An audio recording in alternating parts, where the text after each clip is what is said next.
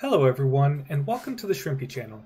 In this video we're going to talk about how we would deposit funds into your account before we can start trading any cryptocurrency. As you can see I've logged into my Binance account. If you'd like to follow along you can go ahead and log into your Binance account as well. The way that cryptocurrency exchanges typically work is they have different wallets that you can use to deposit funds.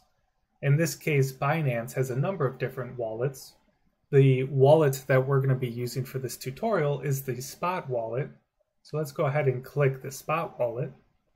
You can see here all of the different assets that are available on the exchange for trading, as well as all of the ones that you can deposit into your trading account.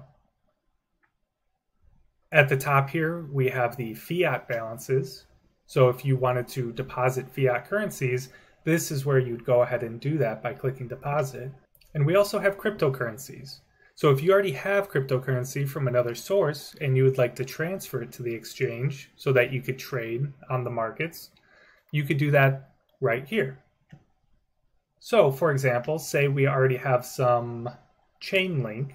We can go to Chainlink, we could select deposit, and we could scan this QR code that they've sent us, or we could use this address right here to deposit the funds into our account and then those funds will show up in our spot wallet right on this page right here.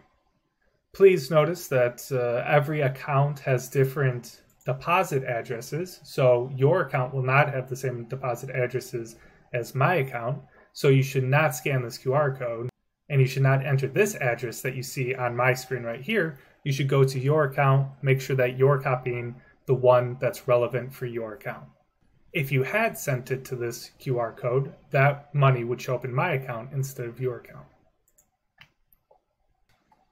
Going back to the spot wallets, you can see here that I have a variety of different assets. So right now I've hidden my balances so you can't see how much in each asset I have, but you can see that I hold all of these different assets. If you have any questions, don't hesitate to reach out to our team. We're always happy to help. Otherwise, we hope to see you on the Shrimpy application and we look forward to seeing you in the next video.